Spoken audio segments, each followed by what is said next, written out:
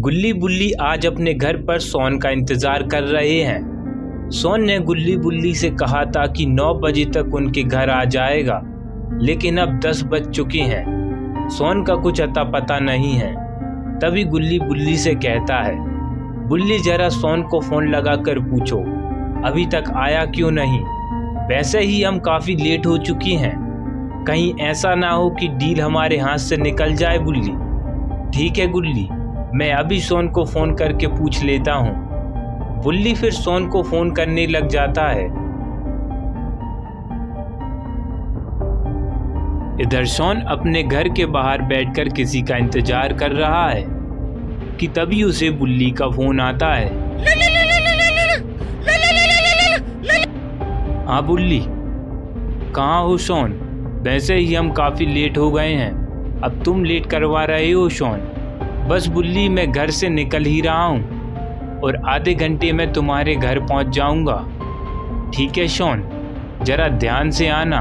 वैसा ही काफ़ी रात हो चुकी है और रात को चोर उचक के ज़्यादा घूमते हैं। तो ज़रा ध्यान से आना, शोन। और हाँ अपने साथ अपना फ़ोन भी साथ लाना।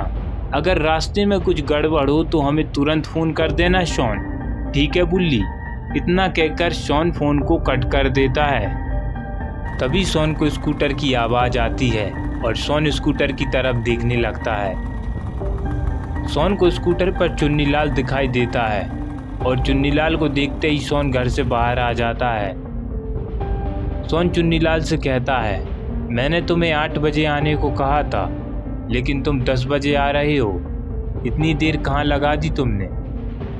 फिर चुन्नीलाल सोन से कहता है अरे शॉन, मैं घर से तो टाइम पर निकला था। जैसे ही आधे रास्ते पर आया तो मेरा पेट अचानक खराब हो गया और मुझे अर्जेंटी हल्का होने के लिए कहीं बैठना पड़ा। और तुम तो जानते ही हो शॉन, मुझे हल्का होने के लिए कम से कम एक घंटा तो लगता ही है। अच्छा वो सब छोड़ो चुन्नी लाल आज से यह घर तुम्हारा हुआ। और हाँ एक ज़रूरी बात, इस घर के पैसे तुम मेरे खाते में डलवा देना। ठीक है, शॉन। इस घर के पैसे सुबह तुम्हारे खाते में डाल दिए जाएँगे। अच्छा चुन्नी लाल, मैं चलता हूँ। वैसे ही तुम्हारी वजह से मैं काफ़ी लेट हो गया हूँ। इतना कहकर शॉन अपनी स्कूटर उठाता है और गुल्ली बुल्ली के घर की तरफ़ जाने लगता है। रात काफ़ी हो गई है और रास्ते पर भी कोई नहीं है। इसी का फ़ायदा उठाते हुए शॉन अपनी स्कूटर को फुल स्पीड में भगा रहा है, ताकि वह गुल्ली बुल्ली के घर जल्दी पहुँच सके। दरअसल, सोन को एक बड़ा घर अच्छे दामों पर मिल रहा है, इसलिए सोन ने अपना पुराना घर बेच दिया, और अब सोन गुल्ली बुल्ली के साथ उस घर को खरीदने जा रहा है। यही सब सोचते हुए सोन गुल्ली बुल्ली के घर आ जाता है। अब गुल्ली सोन से कहता है, सोन, जल्दी आकर गाड़ी में बैठो। वरना हम जीप लेकर निकल जाएँगे और तुम्हारा घर भी हम खरीद लेंगे। यह बात सुनते ही सोन दौड़ते हुए जीप में आकर बैठ जाता है और गुल्ली से कहता है, जितनी दम इस जीप में हो गुल्ली, उतनी दम से इस जीप को भगाओ। और तीनों ऐसी मौज मस्ती करते हुए डीलर की तरफ़ जाने लगते हैं। अब गुल्ली सोन से कहता है सोन, तुमने आने में इतना टाइम क्यों लगाया? अब सोन झूठ बोलते हुए गुल्ली से कहता है, गुल्ली दरअसल मेरा स्कूटर रास्ते में पंचर हो गया और आसपास कोई पंचर की दुकान भी नहीं थी। इसलिए मुझे दूर की पंचर की दुकान पर अपना स्कूटर धकेलते हुए ले जाना पड़ा और मुझे तुम्हारे घर आने में टाइम लग गया। फिर सोन बुल्ली से कहता है बुल्ली यह इलाका इतना डरावना और सन्नाटा क्यों है? बुल्ली सोन से कहता है सोन इस इलाके में दूर दूर तक कोई नहीं रहता। और कई लोगों का कहना है कि यहाँ पर एक बूढ़ी औरत रहती है, जो लोगों को मार कर खा जाती है। और जिस घर को हम खरीदने वाले हैं, वो घर भी इसी इलाके में आता है, सोन। बुल्ली जीप रोकते हुए कहता है, शायद इसी वजह से यह घर हमें इतना सस्ता मिल रहा है। फिर बुल्ली कहता है, घबराने वाली बात नहीं है, क्योंकि पुलिस ने कई बार इस पूरे इलाके को चेक किया। मगर उन्हें ऐसा कोई सबूत नहीं मिला, जिससे यह साबित हो सके कि यहाँ पर कोई आदमखोर बुढ़िया रहती है, और ना ही गायब हुए लोगों की उन्हें लाश मिली। बस यह तो आदमखोर बुढ़िया की एक अफवाह थी।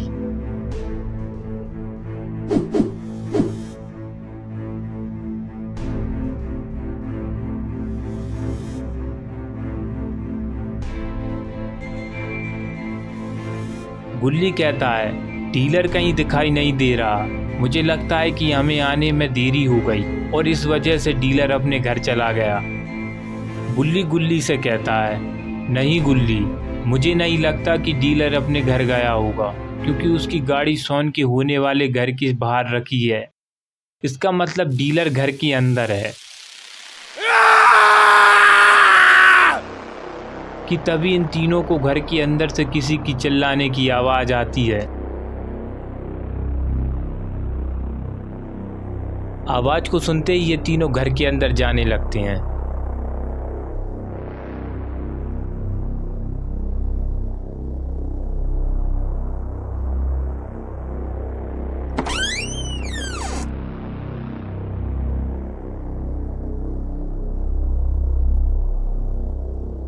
अब बुल्ली कहता है, घर तो काफ़ी बड़ा है हम डीलर को कहाँ ढूंढेंगे?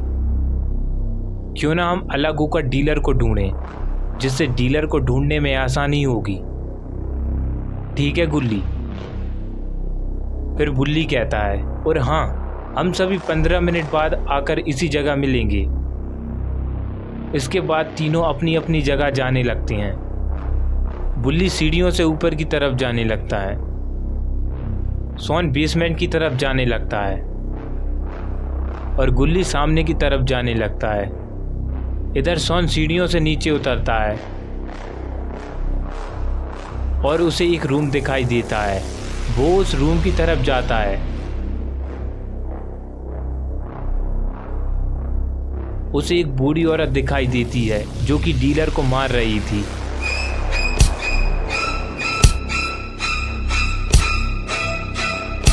सोन वहीं खड़े होकर यह सब देख रहा था।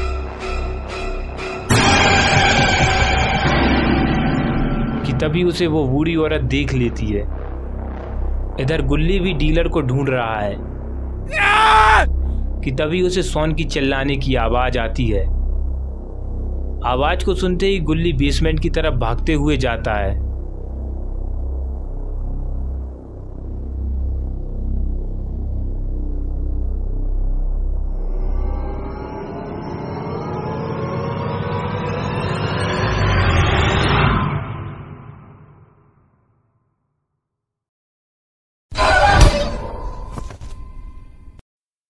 और यहाँ बुल्ली भी डीलर को ढूंढ रहा है।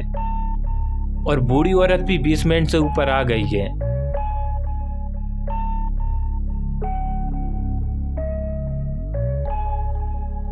क्या बुल्ली, गुल्ली और सोन को बचा पाएगा? यह सब हम देखेंगे पार्ट टू में। पार्ट टू देखने के लिए कमेंट में पार्ट टू लिखना ना भूलें।